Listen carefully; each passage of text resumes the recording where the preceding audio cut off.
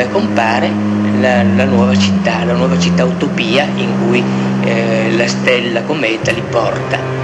Eh, questa nuova città utopia si chiama Gomorra e corrisponde perfettamente a Milano. Ci sono interi reggimenti, si può dire, di giovani tutti nudi, fermi, immobili, mm, che aspettano qualcosa, so, qualcosa di misterioso, come se fosse una, una cosa appunto in qualche modo eh, istituzionale o religiosa. E assistiamo a una specie di, di invasione di Gomorra da parte di questi giovani barbari nudi si buttano addosso alle donne, le alzano sulle sottane, cominciano a toccarle, a, a toccarle i seni, a toccarle il sesso, a toccarle il culo, insomma a impadronirsi di loro.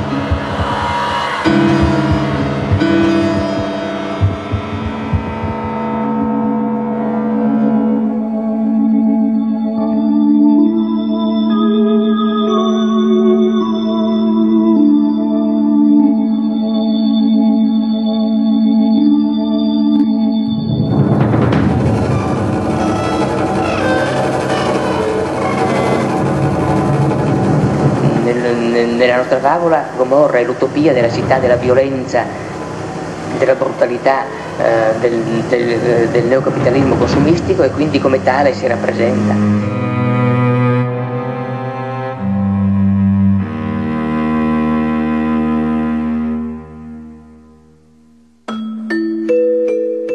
Secondo me la televisione è più forte di tutto questo. E la sua mediazione ho paura che finirà per essere tutto. Il potere vuole che si parli in un dato modo ed è in quel modo che parlano gli operai, appena abbandonano il mondo quotidiano, familiare o dialettale, in estinzione. In tutto il mondo ciò che viene dall'alto è più forte di ciò che si vuole dal basso. Non c'è parola che un operaio pronunzi in un intervento che non sia voluta dall'alto. Ciò che resta originario nell'operaio è ciò che non è verbale per esempio la sua fisicità, la sua voce, il suo corpo. La ferocia era terribile e all'antica. I campi di concentramento dell'URSS, la schiavitù delle democrazie orientali, l'Algeria. Questa ferocia all'antica naturalmente permane, ma oltre a questa vecchia ferocia c'è la nuova ferocia che consiste nei nuovi strumenti del potere. Una ferocia così ambigua, ineffabile, abile, da far sì che ben poco di buono resti in ciò che cade sotto la sua sfera. Lo dico sinceramente, non considero niente di più feroce della banalissima televisione. Io da telespettatore la sera prima e un'infinità di sere prima le mie sere di malato ho visto sfilare in quel video dove essi erano ora un'infinità di personaggi. La corte dei miracoli d'Italia e si tratta di uomini politici di primo piano. Ebbene, la televisione faceva e fa di tutti loro dei buffoni. Riassume i loro discorsi facendoli passare per idioti, con loro sempre tacito beneplacito. Ma, oppure, anziché esprimere le loro idee, legge i loro interminabili telegrammi. Non riassunti, evidentemente, ma ugualmente idioti. Idioti, come ogni espressione ufficiale. Il video è una terribile gabbia che tiene prigioniera dell'opinione pubblica, servilmente servita per ottenere il totale servilismo, l'intera classe dirigente italiana.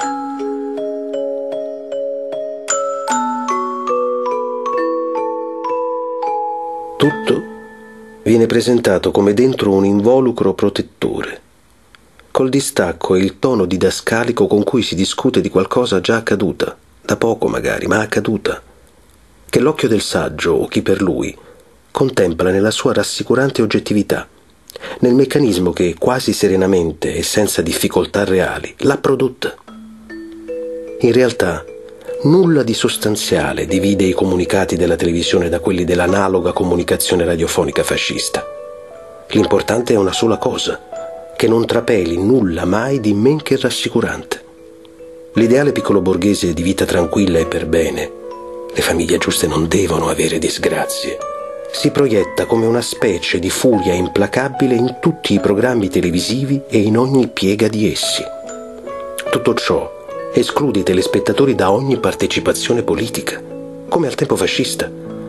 C'è chi pensa per loro. E si tratta di uomini senza macchia, senza paura e senza difficoltà neanche casuali e corporee. Da tutto ciò nasce un clima di terrore. Io vedo chiaramente il terrore negli occhi degli annunciatori e degli intervistati ufficiali. Non va pronunciata una parola di scandalo, praticamente non può essere pronunciata una parola, in qualche modo, vera. Potete parlare liberamente di sesso, maternità, contraccezione, aborto, famiglia, prostituzione, scuola, infanzia, vecchiaia, mestruazioni e menopausa. Signore, signorine, bambini, vi aspettiamo. Buonasera.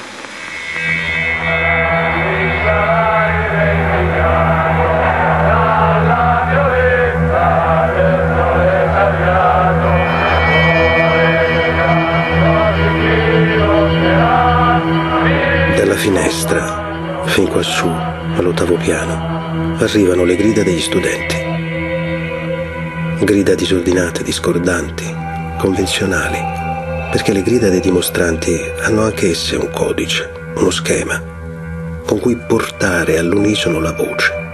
Perciò, da lontano, le grida di ogni manifestazione di piazza sono uguali, ma la lontananza corregge, filtrandola attraverso lo spazio, così indifferente al senso di quelle grida di protesta, la loro scompostezza convenzionale è un po' volgare. Le rende dolorosamente misteriose, come venissero da un altro mondo, da un altro tempo.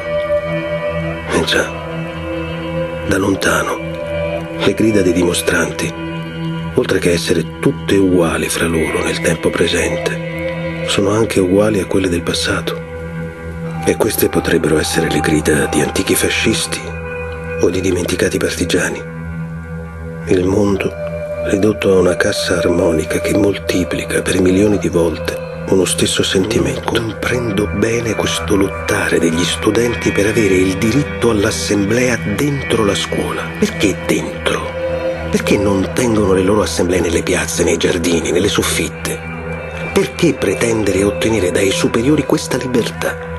E attuarla nelle sedi che non sono certamente per loro natura luoghi di libertà? Io so questo che chi pretende la libertà poi non sa cosa farsene. Penso perciò che gli studenti dovrebbero lottare non per pretendere dall'autorità attuazioni di diritti, o perlomeno non solo per questo, ma per pretendere da se stessi di essere la parte più importante, reale, dell'opinione pubblica. Quel piccolo gruppo di idee deprimenti e avvilenti che un giovane rivoluzionario ha in testa come meta della rivoluzione comprende naturalmente anche un'idea della scuola come servizio pubblico.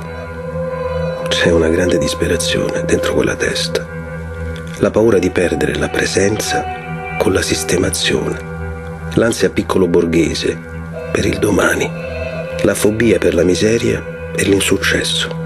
È una specie di piccola e intensa malattia mentale, tenuta nascosta, taciuta.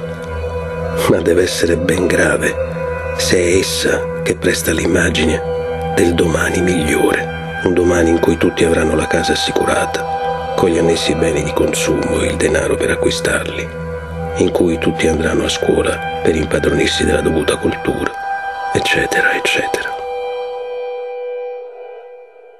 Io la domenica sento l'esigenza di vestirmi bene, di andare in giro no? e farmi vedere dalla gente, capito? Non essere uno dei tanti, capito? La gente deve dire, ah quello è un modo, quello è diverso da noi, capito? Devo, devo farmi vedere dalla gente, devo, devo, devo, emergere, capito?